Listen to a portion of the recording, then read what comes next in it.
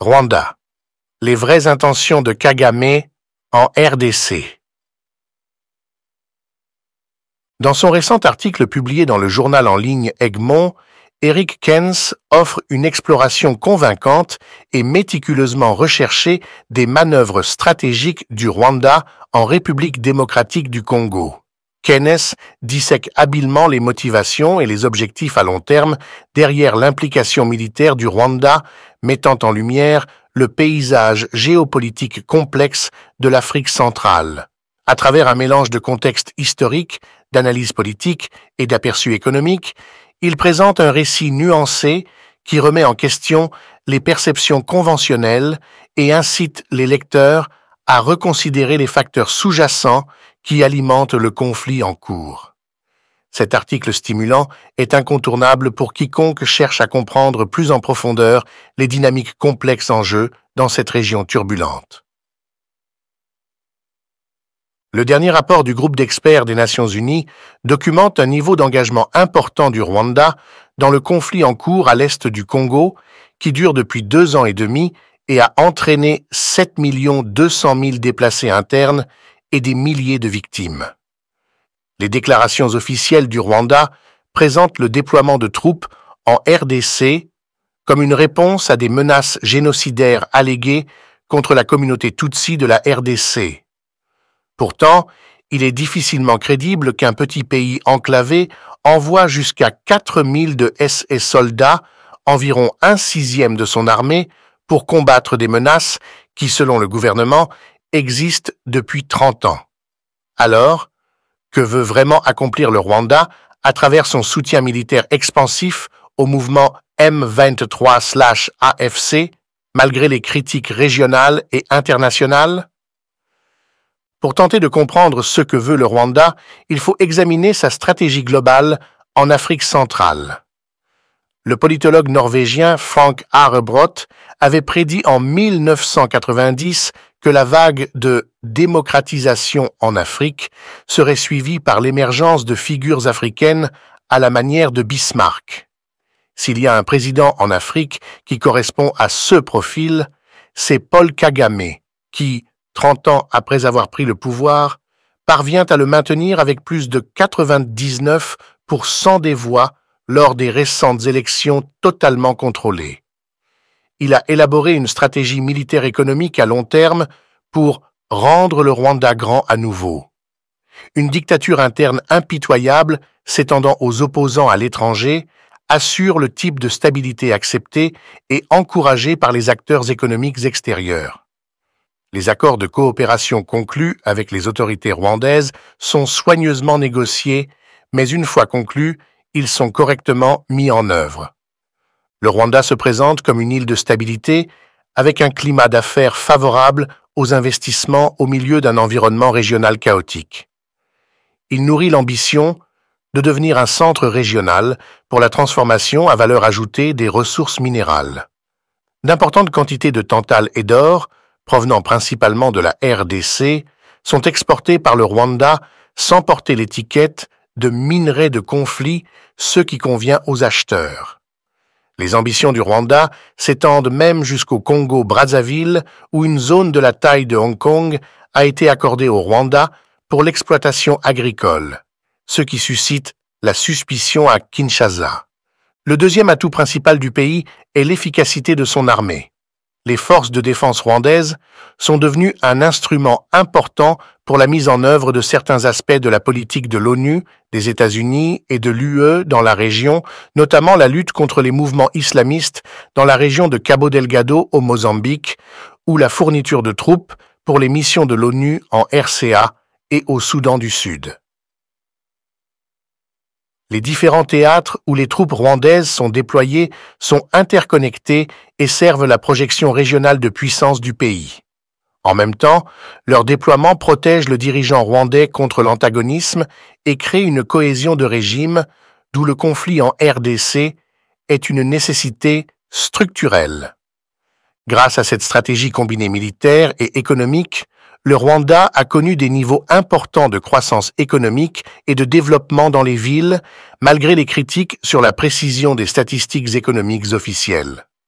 Le président Kagame utilise habilement les atouts de son pays pour déployer une diplomatie cohérente et se lier d'amitié avec les dirigeants les plus importants de l'Occident. L'étendue et la durée du soutien du Rwanda au mouvement M23 dans l'est du Congo montrent très probablement que le conflit en cours fait partie de la stratégie à long terme du Rwanda et non d'une opération à court terme pour éliminer la menace FDLR.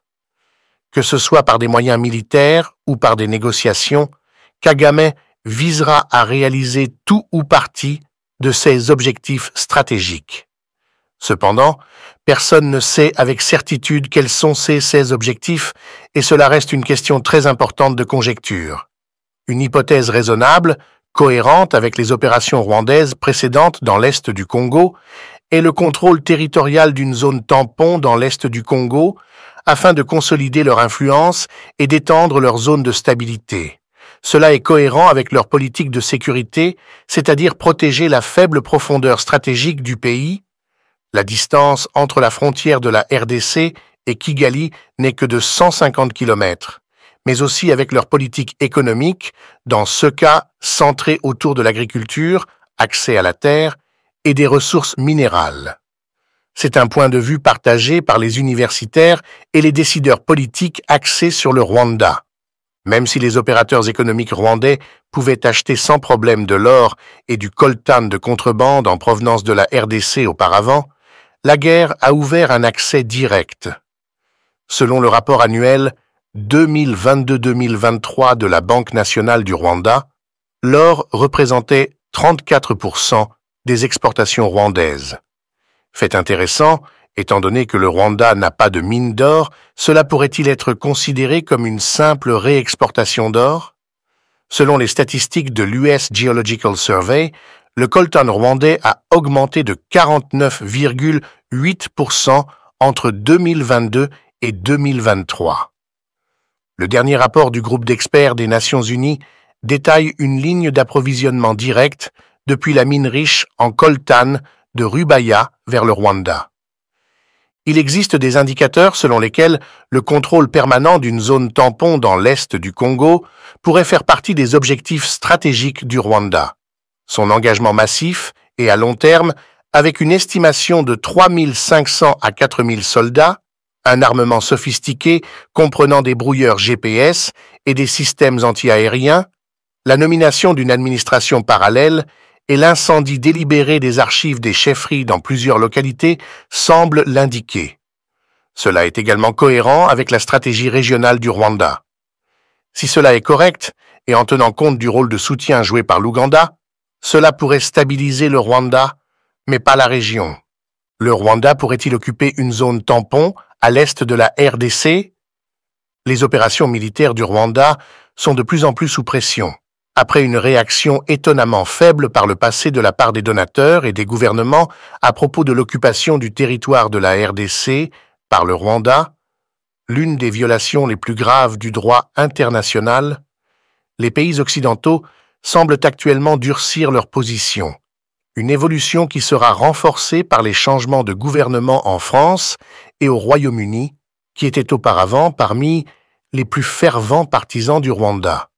Une nouvelle série de sanctions sera très probablement prise par l'Union européenne, les États-Unis et l'ONU, cette fois contre des officiers de haut niveau des forces de défense rwandaises actifs à l'est du Congo. Le renouvellement du financement de l'opération RDF au Mozambique par l'Union européenne, qui libère de facto des fonds rwandais pour l'opération en RDC, a été bloqué car certains pays l'ont conditionné au retrait de la RDC, tandis que la Belgique a refusé de fournir des fonds. Malheureusement, aucune mesure ne semble être en vue similaire à 2012 lorsque l'aide au Rwanda a été coupée et que le M23 a été contraint par Kagame de quitter la ville de Goma qu'ils occupaient. En dépit de la pression accrue sur le Rwanda, des accords de nature économique continuent d'être signés indépendamment de la guerre en RDC. En février 2024, un protocole d'accord sur un partenariat stratégique sur les chaînes de valeur des matières premières durables a été signé entre l'Union européenne et le Rwanda concernant en partie les minerais de contrebande en provenance de la RDC. Même si l'accord cadre mentionne des mesures de contrôle pour la transparence, le Rwanda aurait déjà refusé tout contrôle de ce type lors des négociations en cours sur l'accord final. Ce protocole d'accord très mal conçu et inopportun illustre une politique technocratique de la Commission européenne qui ne prend pas en compte l'environnement politique. La loi de l'UE sur les minéraux critiques isole la ruée vers les minéraux critiques de toutes autres considérations. Le cabinet du haut, représentant de l'Union européenne, qui devrait tenir compte du contexte politique sensible, aurait un biais pro-Kigali. La nouvelle configuration politique post-électorale dans plusieurs États membres de l'UE et au niveau du représentant étranger de l'UE, la première ministre Kaja Kallas, pourrait éventuellement augmenter la pression sur le Rwanda pour qu'il se retire de la RDC. Si cela se produit, la seule alternative pour le Rwanda de réaliser ses objectifs stratégiques est par le biais de négociations. Les accords précédents avec les mouvements rebelles soutenus par le Rwanda dans l'Est ont vu l'intégration de leurs officiers dans les structures militaires de l'Est et ont créé un levier important pour Kigali, quelque chose que le président de la RDC veut maintenant l'éviter.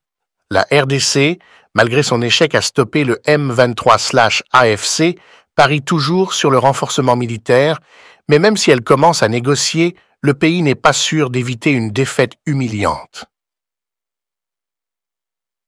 La faiblesse structurelle des forces militaires de la RDC, l'absence de toute administration étatique effective dans l'est du Congo, les problèmes internes auxquels le président Tshisekedi est confronté avec son propre parti UDPS divisé et les concurrents politiques au sein de sa propre coalition affaiblissent considérablement la position de négociation de la RDC. Il sera difficile pour la RDC de résister aux exigences du Rwanda en matière de contrôle et d'influence dans l'Est sans un soutien international solide, principalement de l'Union européenne et des États-Unis, mais aussi de l'Angola. Pourtant, il semble peu probable que les États-Unis puissent prendre une initiative majeure avant la nomination de la nouvelle administration. Et il pourrait falloir du temps avant qu'une nouvelle politique de l'UE ne prenne forme. La clé de voûte de la stratégie de l'UE pour les Grands Lacs est la nomination d'un envoyé spécial de l'UE. Et Kagame a pu, grâce à son influence en France et dans l'Union européenne, bloquer la nomination du candidat belge la RDC a considérablement affaibli l'influence de l'ONU en demandant à la MONUSCO d'accélérer son départ, ce qui pourrait finalement affaiblir sa propre position dans la région. Cela rend les initiatives angolaises, en tant que médiateurs désignés par l'Union africaine, d'autant plus importantes et nécessaires.